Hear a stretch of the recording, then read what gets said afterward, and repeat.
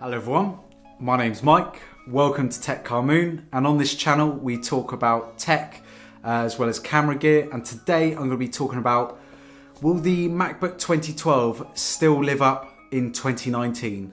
Let's jump into it.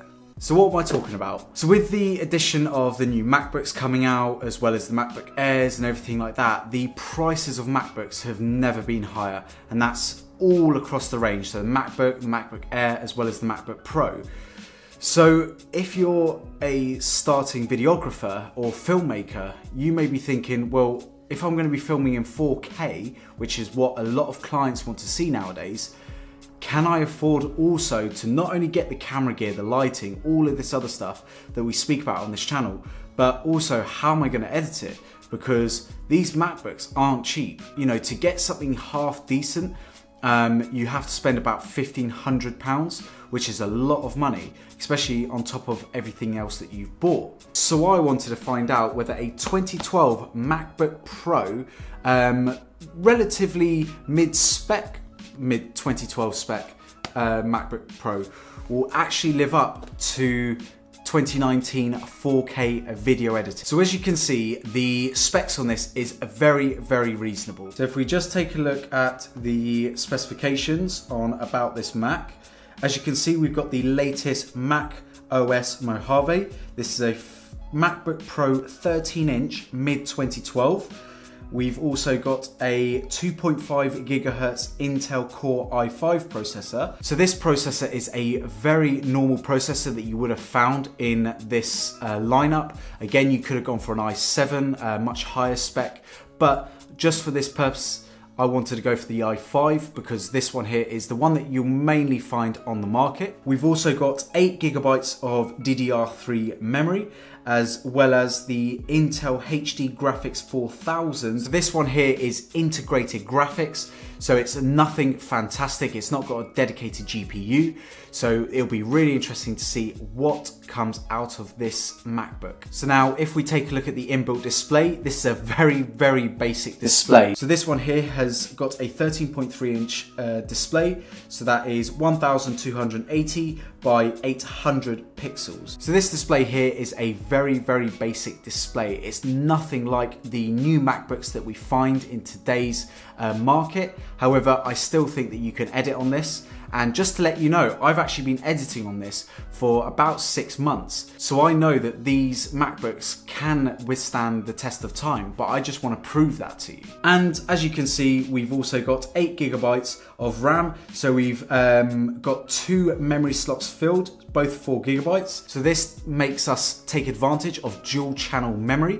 So we should find much better speeds than just having one single 8 gigabyte RAM stick. So why am I talking about the MacBook Pro 2012 model instead of any of the other older models? The reason why is because this is the latest model where you could upgrade both the RAM as well as the hard drive. For me, for example, I've actually removed the optical disk drive in replace for another SSD. In terms of the specifications that I changed on this computer, I've upgraded the RAM to 8 gigabytes. Now these MacBooks are actually configurable up to 16 gigabytes, which is something that I may do in the future, but for now, 8 gigabytes actually runs perfectly. And to be honest, this is probably a specification uh, upgrade that you guys will probably do yourselves because to find uh, two 4 gigabyte RAM sticks. You can find them very, very cheap. I'll put a link in the description below. They will be affiliated, so if you do buy them, they do give me a little bit of a kickback at no extra cost to you. Now, when you buy these MacBook Pros 2012s, the two things that I would recommend you upgrade is firstly the RAM, as well as upgrading the uh, disk drive into an SSD. This will give you much faster speeds and will make it far easier to edit uh, and play back 4K footage. And to show you that, I will prove it to you right now. So let's jump in to the edit. So we'll open up Final Cut Pro. Now we've got the screen recording in the background, so obviously it's gonna take a little bit more time, but as you can see, that's opened up very, very quickly. Now let's create a new project. We'll just leave it as untitled. We'll save that and then we'll import some media. So we will take, let's say this footage just over here, um, import that. We'll then start a new project. So as you can see, just in the project timeline itself, we've got 4K, uh, 3840 by 2160, and that's at 24p. And we're going to be rendering it in Apple ProRes 422. Okay, so we'll press OK on those. We'll drag this into our timeline and let's see how it plays back.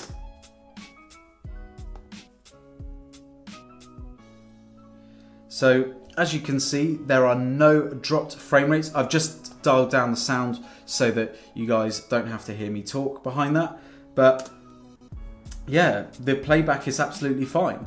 Now let's just put a grade on that and we'll again see how that works. So we will just extend that grade and then we'll just go into here. We will enter one of my presets, which is this one just over here. We'll apply that onto the footage. And within a few seconds,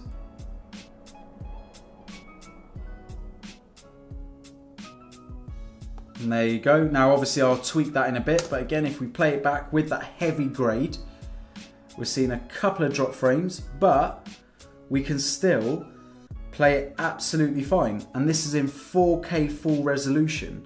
And we've done no proxy uh, media or anything like that. I've just taken it straight from the uh, SD card into the actual computer. So as you can see on the MacBook 2012, we are actually able to play back 4K on Final Cut Pro. So this is awesome because what that means is, is that you can pick up a MacBook Pro for about three to 350 pounds uh, do a few upgrades, which will cost you no more than about £100. So for about 400 to 450 pounds, you can have a 4K editing machine. Now, just to let you know, with multicam, it does drop frames. But if you're doing very simple editing for YouTube, get yourself one of these. Do not spend £1,500 if you're just starting out. Buy one of these, get yourself custom to Final Cut Pro. You can edit 4K footage. As you can see, I've also put a LUT on there, a very heavy grade. I think that had like two or three uh, LUTs on there, plus a color grade on that. Um, it looked horrible, but as you can see, it actually did play it back. It dropped a couple of frames to start with, and then it played it absolutely fine. So those people who say you need a very powerful machine to edit in 4K, that is absolute baloney. Now, what are the downsides of editing with such an old machine? Well, when you're exporting, the export times are extremely long. Um, but if you're just starting out on YouTube or just starting out filmmaking, um, I don't think this is going to be a huge issue because you're going to be editing. It's mainly the editing process. As long as you can edit it without it stuttering too much, um, I think you can create some really amazing videos and just when you're exporting, just be a bit patient. So, what is my verdict on the 2012 MacBook Pro in 2019? I think if you're looking at picking up one of these, you'll be in safe hands. There are two upgrades, like I mentioned, that you should do, and that is upgrading to an SSD. That is the first thing I definitely recommend you do. Second thing is upgrade the RAM, whether it be at 8 gigs or 12 gigs. But as you saw, I was editing that 4K footage with 8 gigabytes of RAM. So 16 is only going to make it a little bit better. The other downside to editing in a 2012 MacBook Pro is the screen. Obviously, we don't have any of that beautiful HDR wide color gamut display. So in terms of color grading, it's obviously going to make it that little bit more difficult. However, for YouTube stuff, it is not a problem whatsoever. Just chuck it on there. You'll get it about 90% there. Um, and then you can fix it all uh, onto another monitor if you wish. The other downside to the MacBook Pro 2012 in 2019 is the weight. The weight and size of this thing is a little bit ridiculous in 2019. This is a heavy laptop uh, in, nowadays, and also the thickness of this. I mean, it's not ridiculous, but it, I mean, when you look at the new MacBooks, it is night and day. But if you're looking at getting a MacBook on the cheap, this is absolutely fantastic. It still works in 2019. It still edits 4K footage in 2019. So any multitasking, you'll be absolutely fine. Um, I think you'll be very hard pressed to find a new uh, laptop um, let's say even at this uh, price point that can edit in 4K so easily. Now I do know that in Premiere you will struggle uh, to edit in 4K with this and also I have noticed as well that editing with DaVinci Resolve on this laptop uh, doesn't work either. So if you want to edit in Premiere or DaVinci Resolve uh, I would recommend you avoid this uh, or transcode your uh, footage um, or use proxies. So basically play back your footage a little bit better. If you're gonna be editing on a machine like this, invest yourself into one of these as well as Final Cut Pro because Final Cut Pro is only about 300 pounds, but that is for life. So you get lifetime updates with that or until they release sort of a major update in terms of the next Final Cut. So for a cheap package, full editing package, you know, that software will stay with you. And then when you're ready to upgrade, you can go and upgrade. But lugging around one of these has been difficult. Um, this takes up a lot of room in my bag. I can definitely feel it along with all the camera gear. Obviously, I run a lot of uh, micro four thirds mirrorless cameras as well as the camera gear, and they're all very light. And it's almost to compensate for the fact that I have to carry this around. If you've enjoyed the video, please leave a thumbs up. Uh, if you haven't already, please subscribe. But until the next video, look after yourselves, and I'll see you in the next one. Bye.